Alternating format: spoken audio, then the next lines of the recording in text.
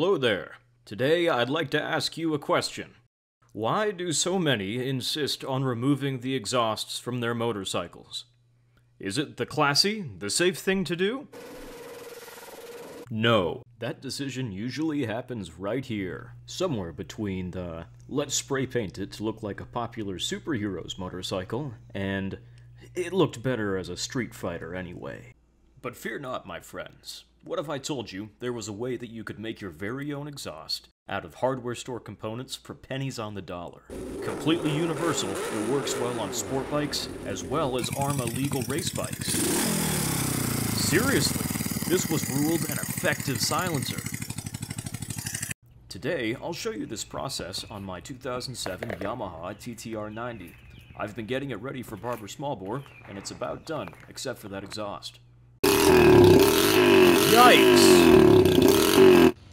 Our journey begins where most others do, at Walmart. I find this quarter inch hardware cloth from the garden section works best. You'll also need some fiberglass exhaust wrap from your local auto parts store. Begin by cutting a roughly 8 by 10 inch piece of this chicken wire stuff. Next, cut two strips of the fiberglass exhaust wrap that are approximately as long as the cheese grater is wide.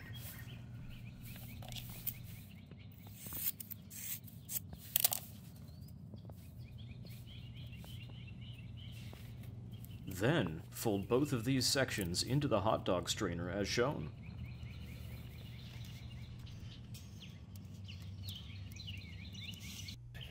Once you've gotten this assembly nice and flat, roll it up as tightly as possible.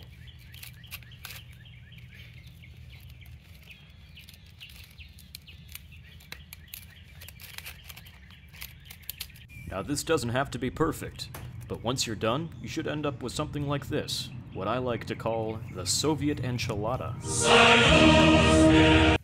Next, insert the daily ration into the exhaust pipe or header you're trying to muffle.